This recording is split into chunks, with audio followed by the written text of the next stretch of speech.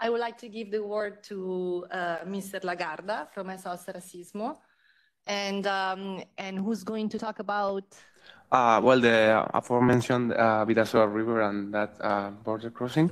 Border crossing, fantastic. Yeah.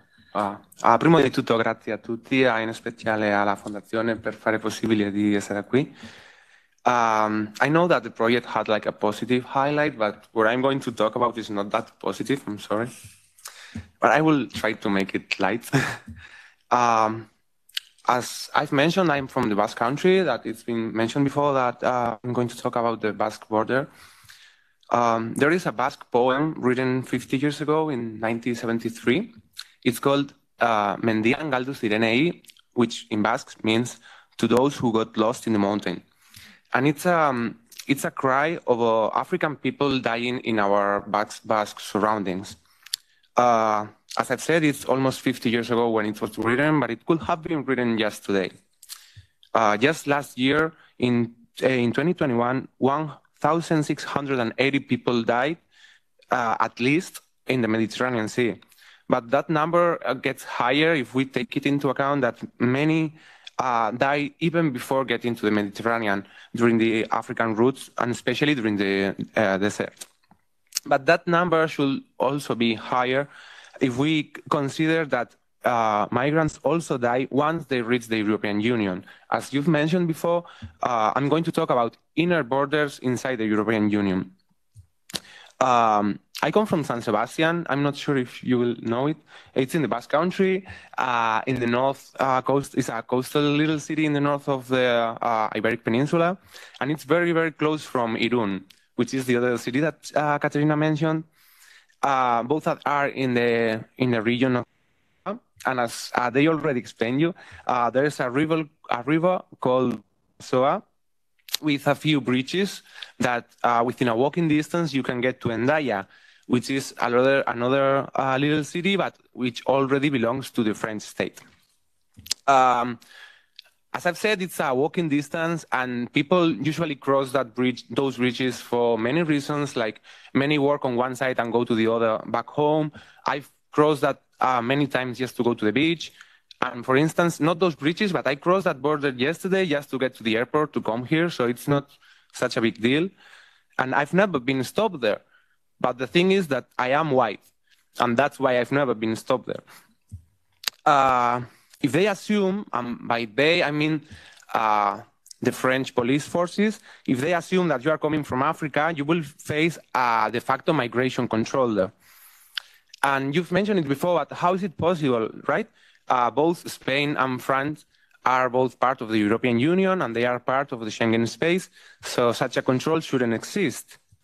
Well, uh, I'm sure all of you will remember that in 2015 there was a terrible uh, terrorist attack in Paris in the Bataclan shooting.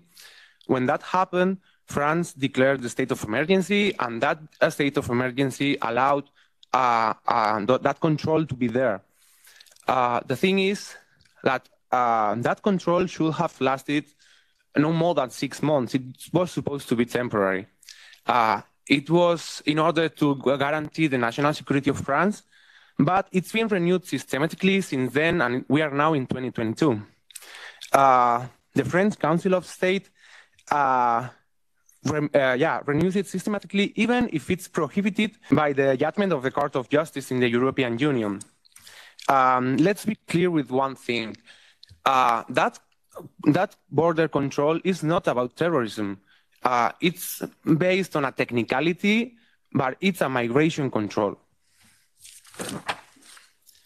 Uh, and as you all know, the first article of the Schengen Code states that such a control should not be, should, shouldn't exist. And on top of that, on top of the, the, the existence itself of the control, the practices there are not legal either. Because I've said before that I've never been stopped there, and uh, everything on if they assume that you are coming from Africa, but how do they assume that? It's by racial profiling. And that racial profiling blocked many, many people uh, in the city of Irun. I would also like to add that from a just utilitarianism point of view or just on a practical note, it doesn't avoid people getting into France. It just makes them more vulnerable.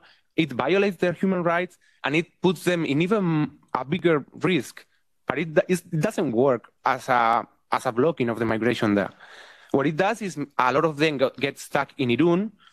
And we are really, really uh, thankful that on both sides of the rivers, both in Irun and in Hendaye, there are organizations and especially citizen networks, just regular citizens who organize themselves uh, to assist these people in need. And they provide an assistance that is not provided by the public administrations in general. So we are really, really uh, thankful to them, especially to Irungo Harrera Sarea. It's the uh, welcoming citizen network from Irun, uh, with whom we work closely. Uh, but as I've said, uh, the control doesn't actually work it only violates the, the, human rights of these humans that I would like to highlight that they are humans, even if sometimes it seems to be forgotten. Uh, and it is not a crime to look for a better and, a, and safer conditions.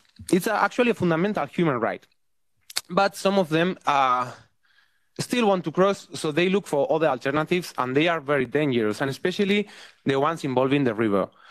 I would say I'm a fair swimmer, and I'm not sure if I will dare to cross that river swimming, even if I kind of know it. So uh, still, many of them, out of desperation, they cross it.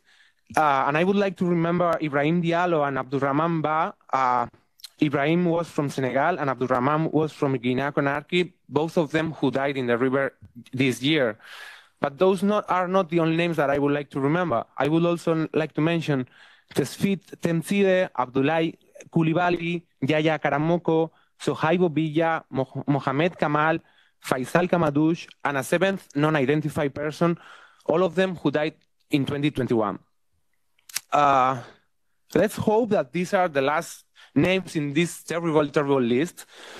But sometimes hope is not enough. So I would like to take advantage of this of me being here to please beg every single one of to do actually something, something to take practical action so that they are indeed the last human beings dying at the Bidasoa.